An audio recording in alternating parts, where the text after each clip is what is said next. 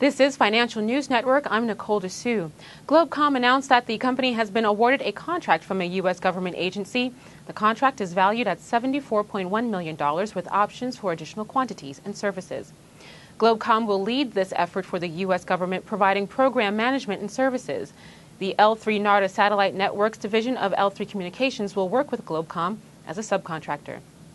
Thomas Coyle, Senior Vice President and General Manager of Globecomm Systems, said, This is a very important contract for Globecomm, and we are very pleased to be working with L3 NARDA to further extend our relationship from other projects.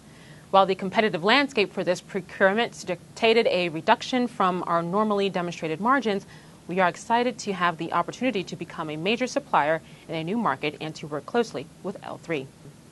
Globecomm Systems has a potential upside of 19.7% based on a current price of $13.78 and an average consensus analyst price target of $16.50. You're watching Financial News Network. I'm Nicole Dessou.